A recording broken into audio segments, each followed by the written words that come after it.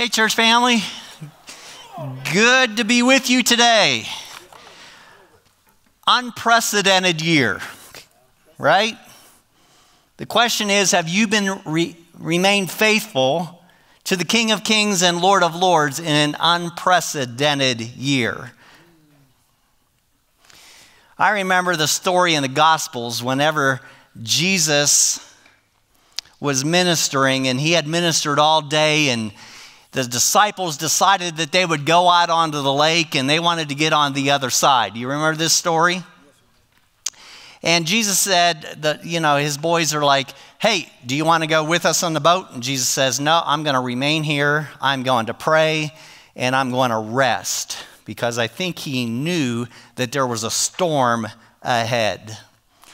So the story goes on the disciples get out on the lake and they encounter this storm to where there is great thrashing of waves and there's lightning and there's thunder and the waves are going over top of the boat and they are in great fear.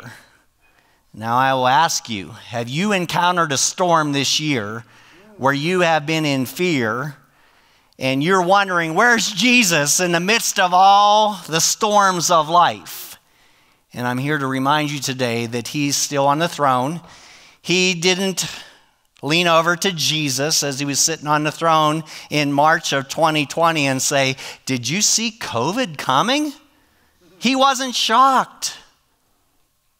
I love the rest of the story in the gospel where Jesus walks out onto the water, knowing that the boys were going to be in the midst of the storm, and he says to the storm, Be still. And I believe before you leave today that Jesus is going to walk in the midst of your storm, and he's going to say to your storm, Be still. You see, in the midst of the darkness, in the midst of the storms of life, Jesus is still alive and well. He hasn't rolled off the throne. Nothing caught him by surprise this year. And he's still the one whenever he arrived some 2,000 years ago in that little town of Bethlehem where the stars shine bright in the midst of darkness. He's still that same God today. Can I hear an amen? Amen. Now, as you were coming in today, I was sitting in my office. And in my office is on the second floor over in the other building. And I watched you coming and I began to pray for you, each and every one of you, because I know that you've been through some storms this year. So, Margie Savala, I saw you come, and my heart was with you. And there's been others of you this year who have lost loved ones. I want to thank you for let Pastor Darrin and myself and the other pastors here be able to walk this journey of life with you and to put our arms around you, to grab you by the hands and to pray with you, to point you in a direction that in the midst of a sin sick, dark world, that Jesus is still on the throne and he is worthy to be praised. Amen as I watched you come, I want you to know that your Heavenly Father saw you as well. And He knows what you need today. So I'm going to ask you to open your hearts to listen intensely for the Holy Spirit to speak to you today because I believe that He has a word for you today. And in the midst of maybe some dark times, that He's going to shine bright in your life. So let's pray and ask the Spirit to fall on us today. Father in heaven, I thank you for this day. I thank you, Lord, that you provided a way for us in the midst of this dark world. Father, where there is sickness and there is death and there is struggles and turmoil and battles going on all around us, Lord. But Father, we're reminded today that in the midst of the storm, you walk into the storm and you say, Be silent. So, Lord, whatever your people are here struggling with today, I ask that you would rise up, that your Holy Spirit would be so real and true to them today that, Lord, the darkness would be put down and the light would shine bright. So, God, we call upon you and we ask for you to speak loud and clear today. Amen. Wow, what a year. Have you had moments of disappointment, distress, doubt, or depression?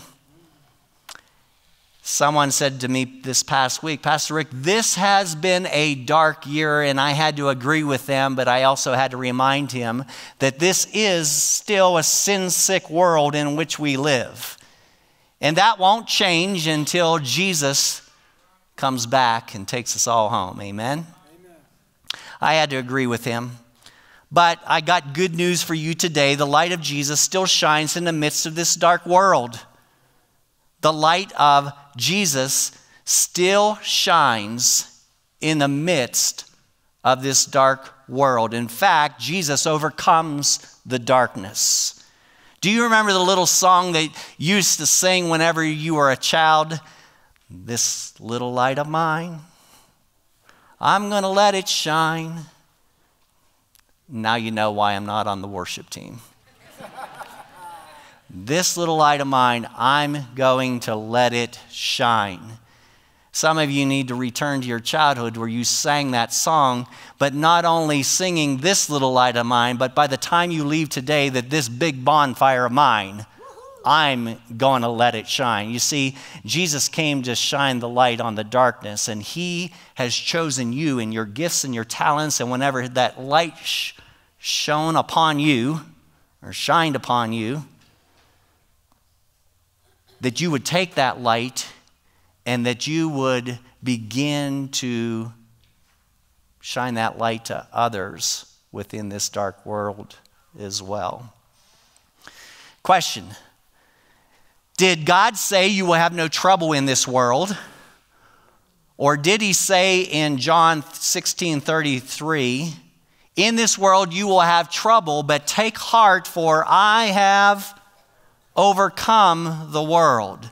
Another translation says, For I will be with you. Do you feel his presence today? Amen. Today, I want to share with you how Jesus dispels the darkness how he can dispel the darkness in this world, how he can dispel the darkness maybe even in your own life. So, here are four things of what God is doing in the midst of difficult or dark days. Are you ready? Yes, Put your seatbelt on. Here we go. Point number one He encourages me when I am disappointed. Have you had any disappointment this year? Mm-hmm. Psalm 34 18 says this The Lord is near to those who are discouraged. He saves those who have lost all hope. The first way that God encourages us is that He says this I am with you. The Lord is near you, has not left you. Like I said before, He did not roll off the throne in March. He's still on the throne, and He's still the all powerful King of Kings and Lord of Lords. Yes, it has been a tough year for many. For many of you, you've lost some loved ones. It's been a disappointing year with COVID. You're out of work. The election didn't go the way you wanted it to. The promotion you thought you were going to get, you didn't close on a deal or a sale you thought you were going to close on. You didn't complete the project that was delayed. Your hopes and your dreams and the things that you had hoped would happen didn't take place in 2020. And yet, God is still alive and well. And you may be asking, where is God in all of this? He's with us. You've heard Pastor Darrin these past couple weeks, Pastor Matt as well uh, preach about God the Emmanuel. That God so desired to have a relationship with each one of us that He sent His Son, God with us. He's where He's always been. He hasn't left you. He is Emmanuel. He encourages me in disappointing times by reminding me that I never go through anything alone. He is with me. And the, the darkest part of the night, I think that's where He shines the brightest. When I was in college, I had answered a call to ministry and I went off to Geneva College. And that first uh, semester of college, um, I was introduced to the Greek language, preparing for ministry. I mean, it's God's language, right? He should be there to help me. First test, I absolutely bombed. And I found myself very disappointed and reminding God, didn't you say that you would be with me whenever you called me into ministry?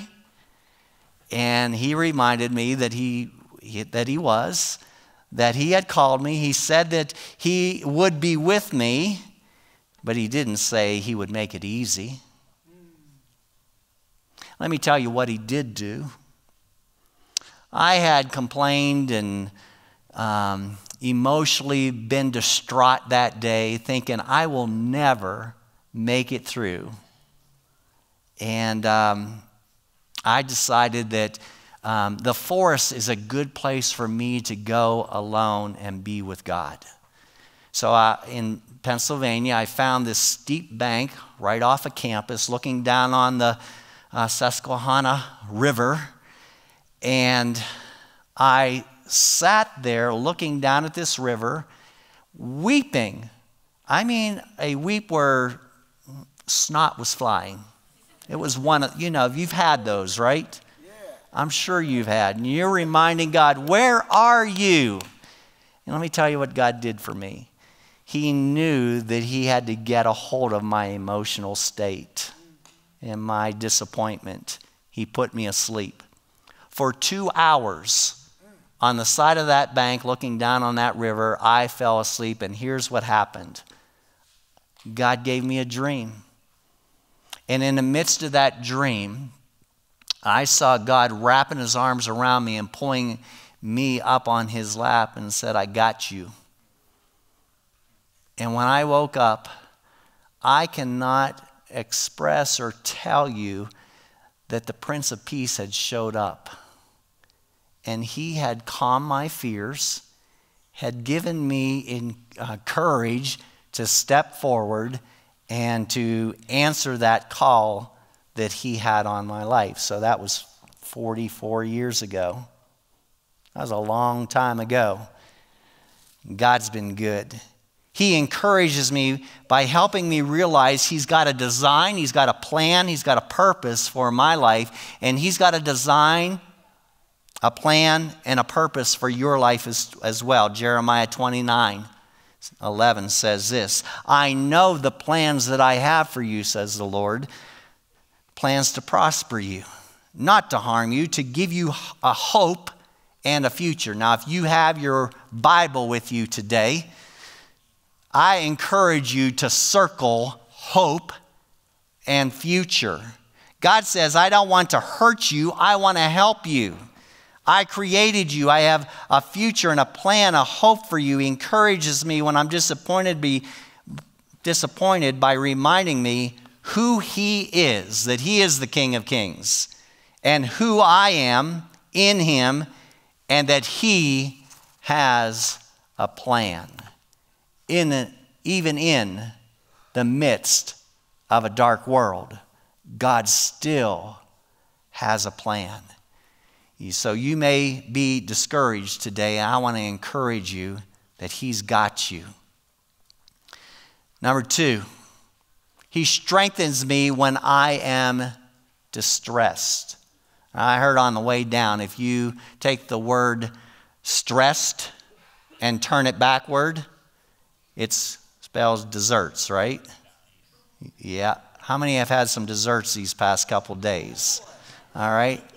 It may have helped you to eat that chocolate pie or all those cookies. Um, but I want to tell you someone who truly takes the distress, the stress out of your life. Here's a great verse. Look at it. Philippians 4:13. This is the amplified. I have the strength for all things in Christ who empowers me. I am ready for anything and equal to anything through him who infuses inner strength into me. I think the NIV says, um, I can do all things through Christ who strengthens me. Do you believe that today? That you are capable? Some of you need to put this verse on your refrigerator. I have the strength for all things. I'm ready for anything and equal to anything. Now repeat these words with me. I am competent. I am confident. You didn't act like you meant it. Come on now. Yes, I am competent. I am confident. I am capable. I am capable. And I am able. And I am able.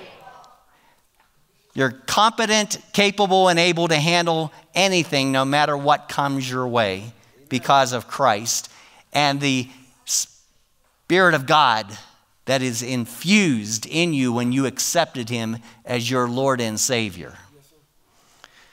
Can you do this on your own power? No, no way. But with the power that God puts in my life through Jesus Christ, nothing can devastate me in 2020, no matter what happens, because I and you can face it.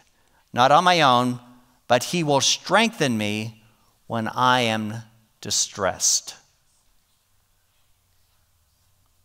Are you stressed today? I want to encourage you to let Him lead you beside the quiet waters.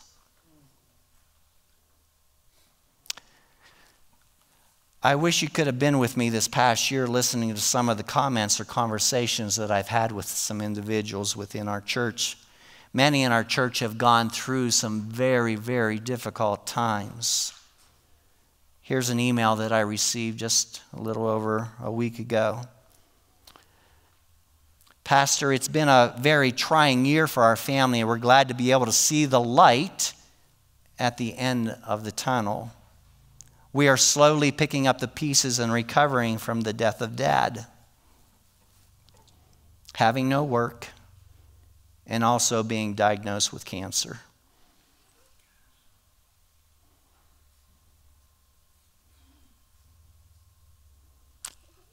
However, I love the word however. Do you love it, Richard? Sir? However. However. There you go.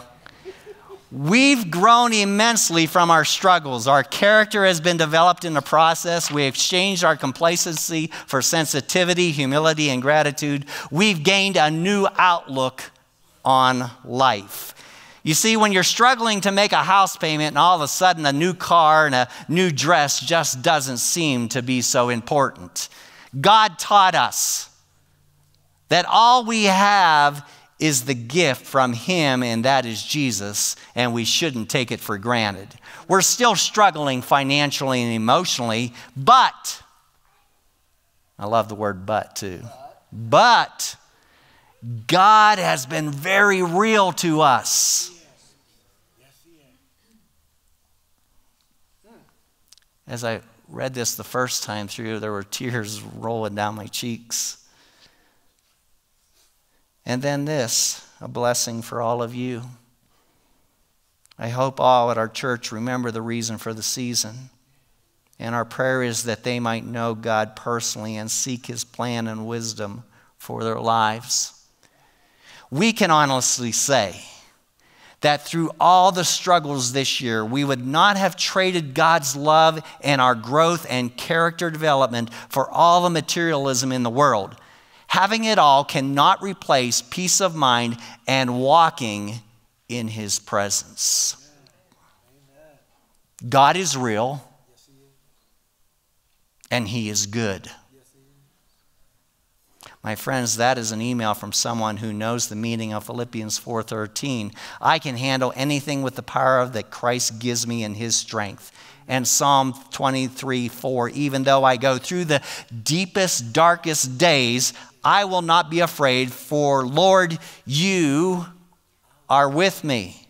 Yes, it's in, my friends, the darkest night. That's when the light shines the brightest. Did you know that there are 150 Psalms in um, the book of Psalms, or 150 chapters, excuse me? 150 chapters in the book of Psalms. And I think it boils down to this the theme of Psalm is this in one sentence Life is tough, but God is good. You see, when you start trying to say life is good and God is tough, you're off base. You should be saying life is tough, but God is good. The King, the Almighty, he says, I will not only encourage you when you are disappointed, but I will strengthen you when you are distressed. Now, I heard that there are 365 fear nots in the Bible. I didn't go through and check it. It would take some time, but I've heard this over and over again. And the most popular fear not is this Fear not, for I am with you. There's, a, there's one, if there's 365, there's a fear not for every day of the year. God is saying, get the message. Don't be afraid. I will strengthen you when you are distressed. You will face some stressful days in 2021. My prayer is that you remain faithful and not lose heart, for He is with you. Number three, He will guide me when I am doubtful. So when I'm confused, or when I don't know which way to go, I read John 8 12. And here's what it says Jesus said, I am the light of the world, so if you follow me, you won't be stumbling around through the darkness. For the living light will flood your path. Let me ask you, what are you worried about today? What has got you uptight? What is it that's keeping you awake at night or keeping your stomach churning? You're going to have to make some pretty tough decisions in 2021. You and I both, and neither one of us know what those choices or those decisions are going to be.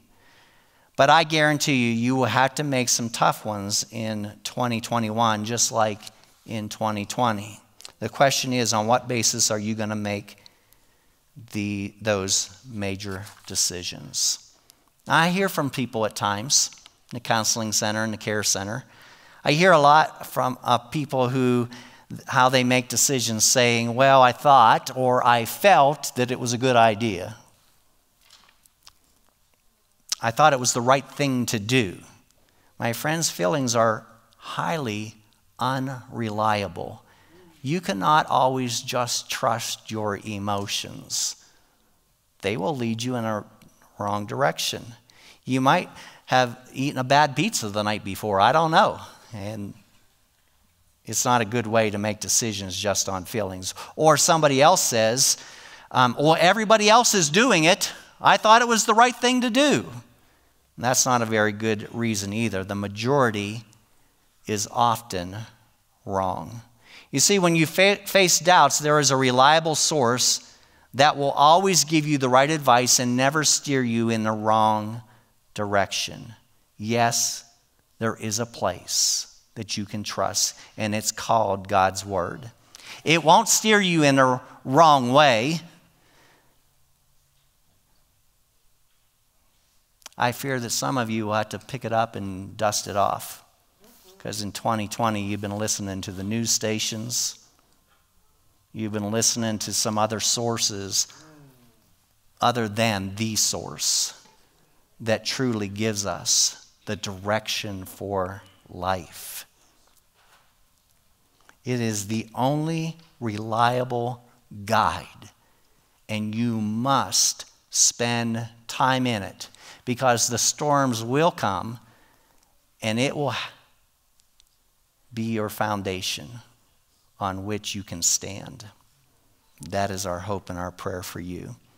It's the light, it illuminates my path. It keeps me from stumbling and helps you to see things clearly. Remember the song again that we sang as children? The B I B L E. Yes, that's the book for me. I stand alone on the Word of God. The B I B L E. Now, if Pastor Matt was up here, we'd sing it, but uh, we're not going to do that. You can say thank you. Yes, sir.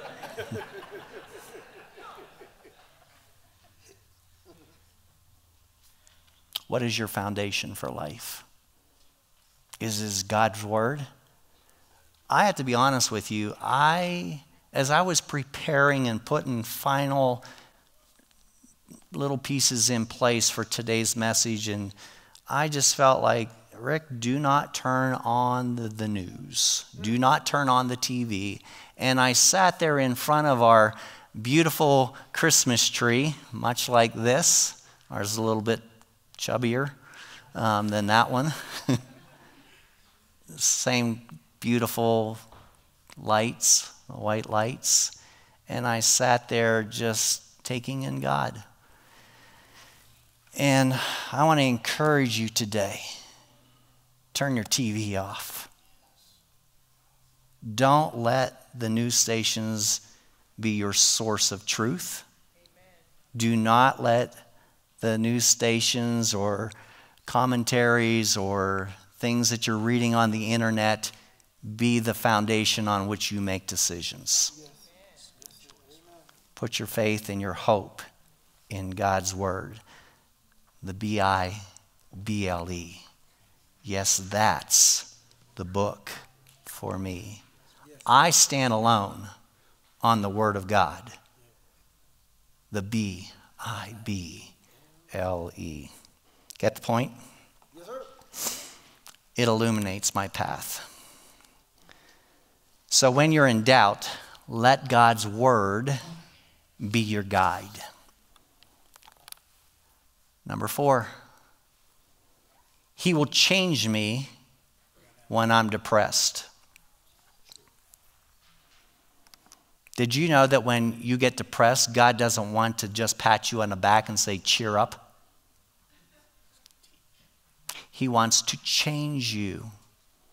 Romans 12:2 says this, "Do not be conformed to the patterns of this world, but be transformed." I like the King James, "But be ye transformed." Um, sometimes my emotional state needs to be transformed. I know the truth, right? But sometimes my emotional well being needs to be transformed by the power of His Word.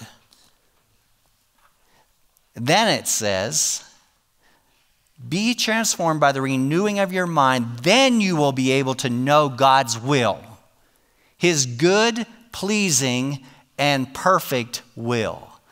If you want to know God's will for you in this next coming year, let Him transform you. In fact, He wants to use your depression to help you learn some new attitudes, some new thoughts, some new approaches, some new choices in life. He doesn't want to just keep you going, He wants to change you. I wish we could push record on some of your conversations, including my own this past year. where was my trust? Where was my hope? In some of the things that I've said, some of the things that I've thought, um, He wants to change us. Illustration. I heard a preacher preach a message on depression once. He said he had 10 points. And he said this if you want to get out of depression, go do something for someone. Doesn't it just feel good whenever you help someone, when you make a difference in someone's life, whenever you point them towards the light? I've seen some of you do this this past Christmas. There's someone sitting right back here that said, Pastor Rick, I want to bless somebody this Christmas.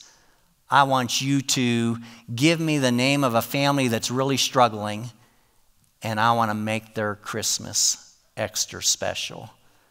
So we got a name together, we got a family, and that individual went out and they purchased all this stuff and brought it she brought it to the care center and she said you make sure that this family gets it. So we call that family up and we say hey we got something special for you. And we made the light shine in a dark spot for this single mom where she had no christmas for her family. And she wept as she received these things. Doesn't it just feel good whenever you point somebody towards the light and make a difference in their life. If you want to get out of depression, go do something for someone. Point number one. Point number two, the pastor said, if you want to get out of depression, go do something for someone. Point number three, if you want to get out of depression, go do something for someone. And he had illustrations for each point. You get the point by point number 10 if you want to get out of depression, go do something for someone. You see, God just didn't call, just call you into the light. He wants you to be the dispenser of that light now as well. He didn't call you just to come here and sit here on a Sunday morning and have your ears tickled and you feel good and get goosebumps and go out those doors and do nothing with it. He has called you to take that light and to be that light in someone's life. He is the hope. We have said over and over again that Pikes Peak Christian Church is the light on a hill. You are here for a reason. Each one of you are an individual light because you have received. And today, before you walk out those doors, I pray that that not this little light of mine, but this big bonfire of mine, that we're going to let it shine. And in 2021, we are going to make the difference for the kingdom of God. Amen. Amen. Look at Ephesians 5:13. It is possible for the light to turn the thing it shines upon into light also.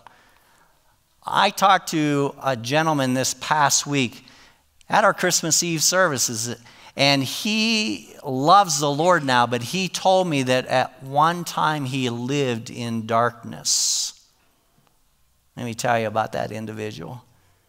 He found the light, and the light pushed out the darkness from his life. And he is now one living 100 watt bulb, shining bright for Christ. You see, when the light of God shines in our lives, it brightens me up. It takes me out of that pit of despair and the darkness, and the light of God fills my life, and I start glowing. I hope you're glowing. I start bringing the bright person that's within me shining out to others. In Ephesians 5 9, the light produces in people all that is good and true. You see, when you allow Christ to fill your life with His Spirit, it brings the best out in you. It dispels the darkness out of my life. He is the light not anything or anyone else. So, my friends, as this year comes to closure, you may have felt overwhelmed. I recognize that. I sat in my office praying for you, and my heart is for you. But God sees you even in a bigger way. He knows what you need. Maybe you're going through one of those dark days, the dark days of disappointment, distress, or doubt, or depression. The good news is because of Christ, there is the light in this world that can drive away any darkness. So, my friends, it's your choice. You can live in His encouragement, you can live in His strength. Let Him be your guide and let Him change everything in your life. He's asking you today as well to be the encourager, to be the strength that someone might need, to guide someone to the light in this dark world, and to lead someone to the change that only Christ can make. Let me pray for you before we leave today. Father in heaven, I thank you for this day. I thank you for the opportunity to, to see you in all your glory. To know, Lord, that you chose to come into this dark, sin sick world and to shine bright into our lives. I thank you, Lord, for shining in my life and shining in individual lives right here. Father, I pray that the light would, would begin from the bottom of their feet the whole way to the top of their heads to shine and take captive every cell of their being, Lord. And Father, that it would shine so bright for you that they would conquer the darkness in their own lives, and Lord, to be that light um, in this community in individual lives, Lord. So, God, we thank you that you came 2,000 years ago, that you shined bright then, and that you're going to shine bright again in our lives today. We pray in Jesus' name. And all God's people said. Amen. Hey, I want to thank you for being here today. Remember, you're not just here to fill a seat. You are here and called to go make a difference for the King of Kings and the Lord of Lords. The Lord bless you, and we will see you next year. God bless you.